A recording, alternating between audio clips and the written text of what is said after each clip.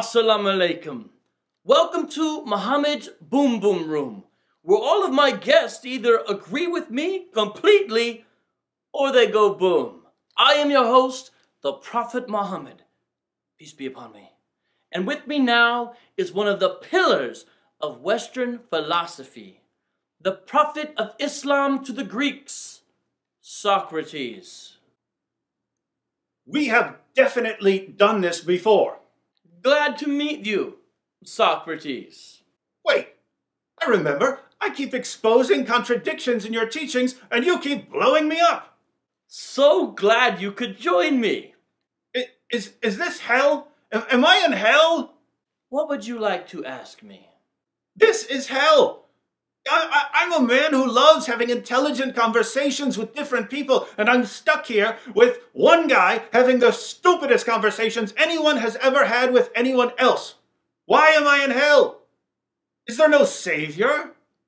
Well, as a wise man once said, a philosopher's hell is a prophet's paradise. No one ever said that. I just did.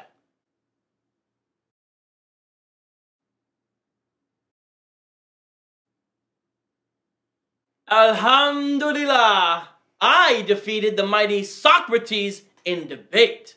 Have you ever gotten a thirst that only a delicious glass of hemlock could quench? FYI, if you eat seven ajwa dates in the morning, no poison can kill you. Look, if you're a prophet, tell me why we're here. Why is this happening? Why am I in hell? I once told my followers about my greatest desire. I said that I would love to be martyred in Allah's cause and then come back to life and then get martyred and then come back to life again and then get martyred and then come back to life again and then get martyred. I just want to kill and get killed and then come back and kill some more and get killed and come back to kill some more and get killed. You're a philosopher. If you wanted to sum up my philosophy in two words, it would be kill, die, repeat. Wait, that's what's happening here? You wanted to keep killing people and dying and coming back, and now you keep blowing us up and then coming back so you can do it again? As I said, a philosopher's hell is a prophet's paradise. Look, just go ahead and push the button. I can't keep talking to you. It's like talking to a goat that was miraculously given the power to speak, but still had the cognitive faculties of a goat. So push the stupid button. Yes, the goat! I am the greatest of all time. The goat! But I don't want to push the button just yet. Let's enjoy ourselves for a few minutes. Even though I've got all eternity, I don't have time for this. Push the button. Wouldn't you rather discuss the scientific miracles of the Quran with me?